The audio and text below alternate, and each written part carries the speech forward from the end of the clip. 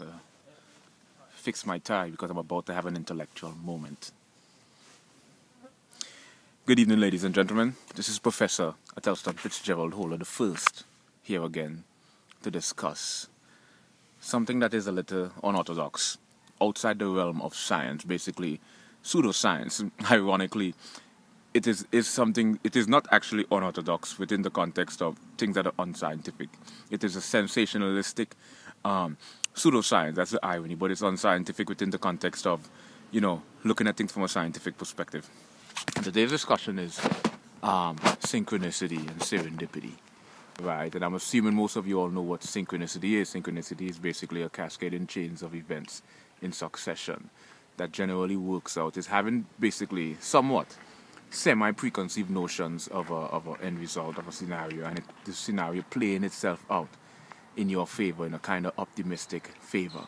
You know whether the concept or the all these you know these personal ideologies you have uh, whether you conjure conjured it up up or not. Why am i struggling to articulate myself?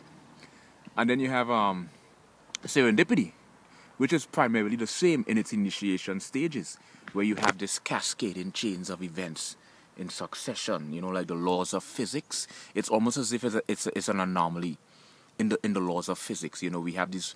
We know we know things. We know there's an anomalies in in, in the laws of physics on a quantum uh, molecular level, quantum mechanics level. How these um these um neurons and protons how they how they operate. You know, their their inconsistency. Some of these things only appear when the conscious observer is observing these entities. But we're not going down there.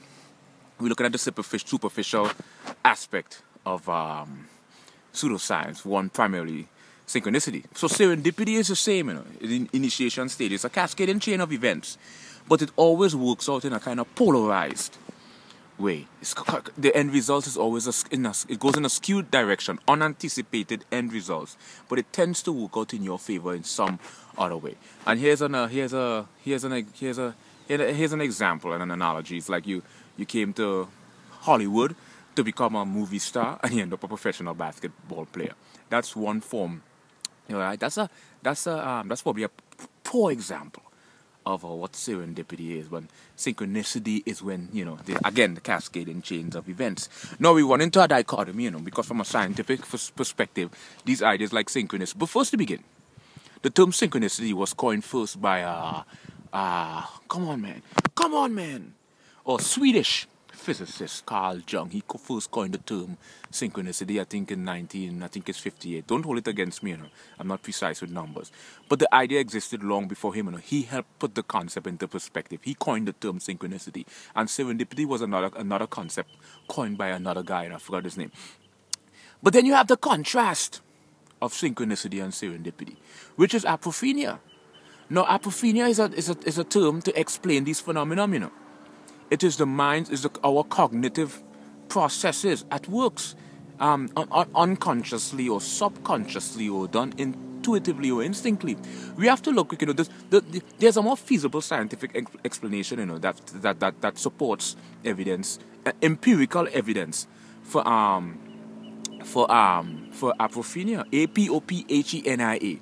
Back in the historical days, back in our primordial days, Homo sapiens, human being survival mechanism was contingent on our capabilities and our innate abilities to see patterns in things. Especially, here's a primary example: when you went hunting, when you went hunting, you had to develop some form of um, um, um, um, patternic mechanism to find food because you have to search the trail, you have to find the trail. To find your way home, you have to use some form of um, methodological patterns, right? So this is one of our um, so this ability to see patterns, apophenia, is something that um, has biologically evolved um, in us and become part of our evolutionary process. So our ability to see patterns in things and consistency, consistencies in things, right? The term is called apophenia, but I could understand why apophenia doesn't have the sensationalistic appeal as say synchronicity does, because here's a, here's the irony with synchronicity, you know, the sensationalistic appeal that the masses love. This it begs a much bigger question if there's a cascading chain of events in succession.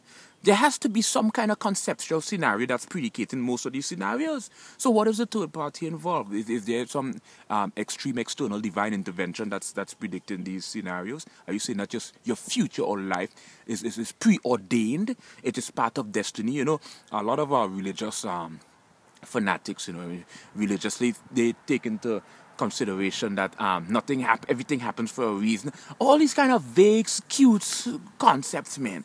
It's apophenia. It's our ability to see patterns and things. And then you have another one called pareidolia.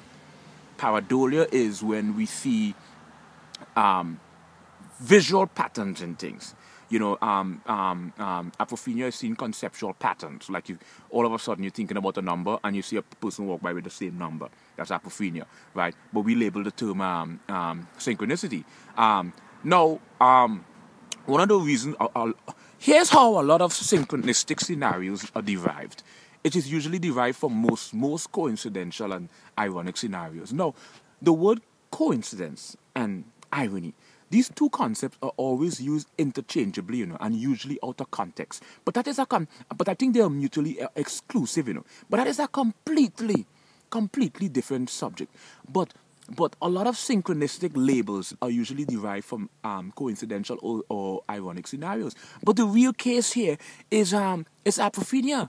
Pareidolia is seeing um is looking at the clouds and you see Jesus' face, and all of a sudden you have these um um, what's it called? Allegory. Allegory. If you have read the book The Alchemist, um, it has allegory is basically when there's a story or a tale, but it has some these um, uh, underlying um, spiritual, um, sentimental connotations, right?